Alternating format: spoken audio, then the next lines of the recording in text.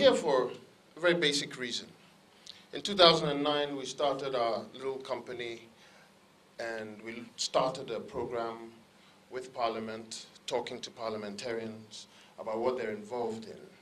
Our interest primarily was to let the public know that Parliament is worth our while.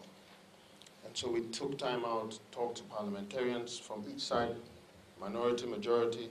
Sometimes we'd bring in civil society organizations to talk as well, um, typically to counter uh, what Parliament was doing most of the time because they didn't necessarily agree, and sometimes to endorse what they were doing because they thought it was a good idea. The bottom line was that the public was being informed. We also had the objective of sort of bringing something to the fore, which is that in the past, from 1951 straight up to 19, even up to when we started in 2009, there never was really the opportunity given to those of us in the public to know exactly what was going on in Parliament. We'd get snippets of it in newspapers and magazines and newsreels on radio and television, but it was typically the sensational stuff. And so we needed to create an avenue to let people know that other things go on in Parliament. Excuse me to say, there are other human beings in Parliament who are very knowledgeable about what they're doing there. And of course, a few who don't know what they're doing, uh, but have won their seats uh, and are there. And so, but it's for them to protect their position and for us to just tell the world that this is what you voted for. And so that's what we've been trying to achieve over the last two years. In fact, May 19th will be exactly two years when we first broadcast. Today is a result of what we found out doing that work. There's too much information and too little of it being told to the public.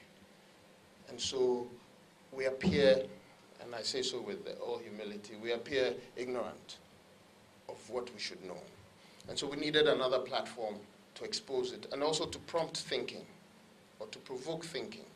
So we're here today on the In the House Talk series. This is the second one. The first one was by Mr. Kojo Yankah, president of the African University College of Communications. He gave us a speech on the media and parliament, an unavoidable marriage. It was held right here. And it was very insightful. We took that opportunity to launch our other platform, the magazine, which is out there for, hopefully for you to acquire. Um, so these are the things we're trying to do to let the public know that Parliament is important to us. They do represent us. It is up to us to make some good decisions about how they represent us. Today in particular, we've chosen the theme, stroke topic, perspectives on governance. And we've chosen speakers who we believe typically will speak for the quote-unquote Ghanaian chairman. The chairman we chose is Professor Kwesi Yankah. Simply put, he's a pro-vice chancellor of the University of Ghana. For this purpose, he's also a very interesting character personally for me, and I say this with all humility again. If you've read his works, if you've listened to his speeches, he actually also carries the people's voice in his own unique way. So we thought that his moderating this event will be exciting. And so while I do this, I'd like to introduce Professor Kwesi Yankah to our, our chairperson. I am so happy to be here, and I will simply, uh, I don't know whether I've been authorized to introduce the speakers. I have the background of three of the speakers here with me, and I believe um, they will speak in the sequence uh, uh, given. Um, the first speaker, if I am to determine who is, do you have the sequence? Yes. Ace Ankomah has described himself simply as a lawyer by profession, a senior lecturer at the Ghana School of Law, and managing partner at the Mebentenschi Letsa and Ankomah, a very renowned law firm. He was one time director and indeed, I have known him and I was told he has been a very good guitarist in the past and occasionally veers off his profession to play guitar. Um, Ace Ankomah is our very first speaker. He's an extremely brilliant young man. And I say young man for very good reasons. And he will not disappoint us in his presentation. Ace, take the floor, please.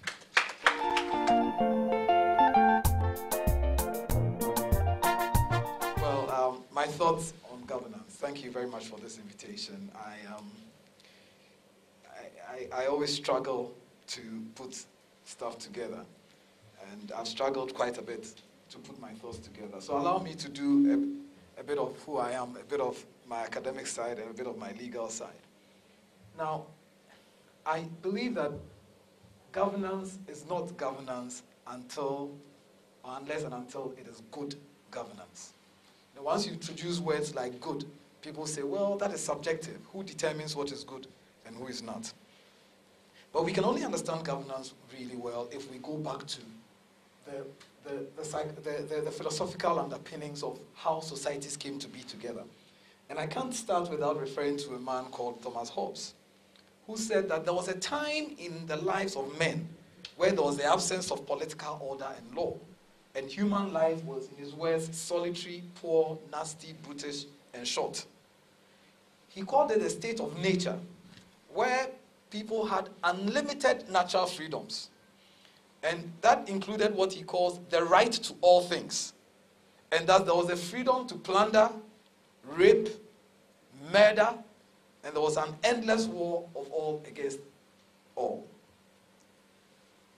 So, to this end, men then, or men and women, especially the women, established a political community. Oh, yeah, men think they are running things, but they are not. That's the reality. Men and women established a political community, a civil society, through what he termed a social contract. Now, he's not only social contract theorist, but for my purposes, Thomas Hobbes is very appropriate. And then gained security in return for subjecting ourselves to governance. So he said we were all like beasts, killing each other. But we saw that that wasn't good, so we subjected ourselves to governance. And, but he says that the governance must be governance by an absolute sovereign.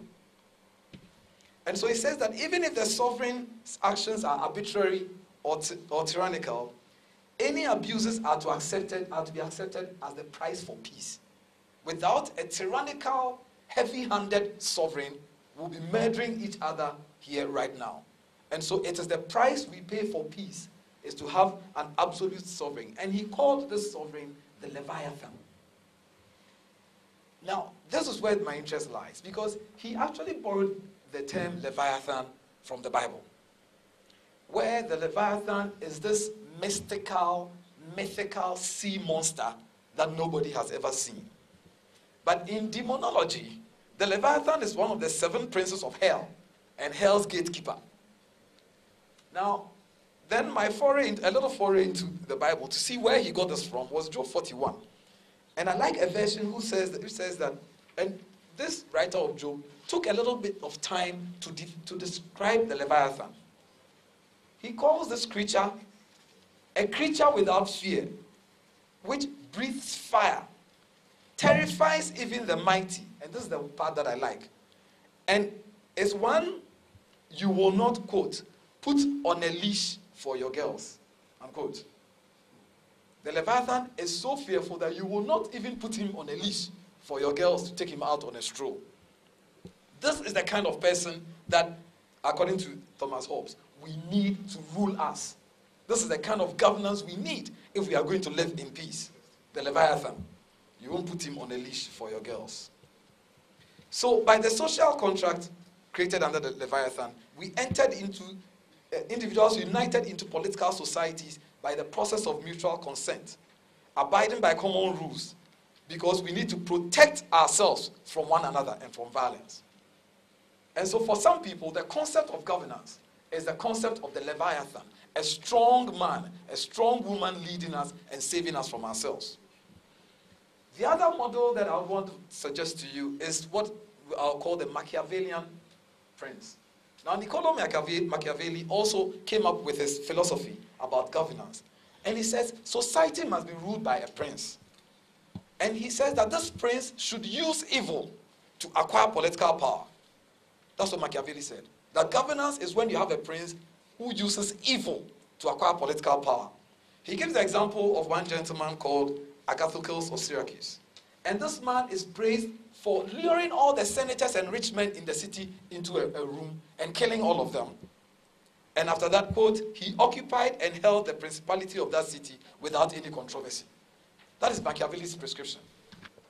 Africa and Ghana, for that matter, has had its fair share, very huge fair share of leviathans and princes. Through laws passed and actions taken by almost every government since colonial time, pre-colonial times, we have often been subjected to cruel governance by leviathans and Machiavellian princes. You have in your constitution an indemnity clause which binds you to forgive trespasses. It says, forgive our trespasses. But the condition, the biblical condition, that as we forgive those who trespass against us, does not exist. It's the effect and the governance of Leviathans still lives with us today. What is worse, that there are some among us who believe that governance is only when we have Leviathans and Machiavellian princes. But was their governance good? What is good governance? Governance is a process, it is not an end. And if you don't remember anything I say today, just remember that good governance is a process. The process where you and I can have a say in life. If it were an end, maybe the people of Libya would not, or some would not be revolting today, because we are told that Libya is Earth's answer to God's heaven. Yet, there are some freedoms that you and I have that the Libyans want today. But others say, we talk too much, Kwame. You talk too much on your show. There's too much talking. We need a strong man, a strong woman to lead us. That is the thoughts of the Leviathan and its supporters. Good governance requires participatory, transparent, and accountable leadership. We have come a long way as a country from the time when the Supreme Court chickened out of holding a president to his oath and told us that a presidential oath or a president can only be held to his oath by, at, the, at the next election. Today, if our president swears an oath, the oath includes these words quote, that should I at any time break this oath of office, I shall submit myself to the laws of the Republic of Ghana and suffer the penalty for it. So help me God. So help you God, Mr. President.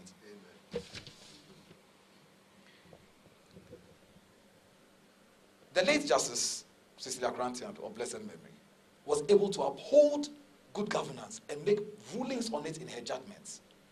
May God still bless her soul. The late Justice Edward Wiredu was also able to uphold good governance, to uphold the human rights of people. And I come to a close with a statement. To me, good governance means good riddance to Leviathans and Machiavellian princes. That is good governance. Good riddance to all the Leviathans you can think about and all the Machiavellian princes. In our national anthem, we pray for God's help to, quote, resist oppressors' rule with all our will and might forevermore. We have a national creed to resist the rule of Leviathans and Machiavellian princes because it is not good governance. And I can't end without going to where Hobbes started from. That in the same Bible, we are told that God will, quote, break the heads of Leviathan in pieces and give his flesh to the people of the wilderness. May that happen to every Leviathan. Thank you um, I thought about legitimacy. What really would make any government or governing system firm? The first thing that came to mind was legitimacy. And legitimacy for me, therefore, meant that we should have a very free and fair election. 18 months or a little over 18 months from now, we're going back to the polls if some of us cast our minds back to what happened in 2008, where there's a potential for us as this beautiful country to get to the brink and actually fall off. And for those who believe that we're a beautiful country, God loves us more than anybody else, I say it's a lie. It behoves on all of us to ensure that the process, not just the event of casting ballots and counting votes, is clean. But the process itself, I believe, if people believe in the process that runs up to the event of the election, we can ensure good governance. If people believe that the structures that have been put in place, the Electoral Commission, um, even the printing of ballot papers, if people believe that deep down um, error is really what it is and it's not manufactured, it would give legitimacy to whoever eventually becomes the leader. That would be the start of good governance, I believe. And even though there will be problems, there should be mechanisms that can help to address these issues. And then also, I just thought about consensus targeting. Our politics in this country is such that it's a winner take all situation. I don't think it helps when it comes to the issues of good governance. So that if there's party A, the moment it is thrown out of power, every single appointee, sometimes to as low as drivers, lose their jobs. I don't think it's a healthy environment we're building for ourselves. Because in the process, we throw the good grain with the chaff. That is assuming there's chaff at all when we take over. These are issues or these are things that we need to look at. Else we'll lose good quality human resource in this country and we'll further divide and polarize what we have. We are already polarized, whether we like it or not. The division goes deeper than just being NDC or being NPP. There are latent tribal and ethnic divisions in this country. We like to paper over the cracks, and some of us who've had the benefit of living in uh, military barracks and other such places, because we're exposed to all manner of people from all kinds of places, we believe that we're, we are more Ghanaian, we are more open, we are more tolerant, but there is a certain constituency that is not as tolerant. And so that was one thing I also thought about. And now, for somebody who works in the media, I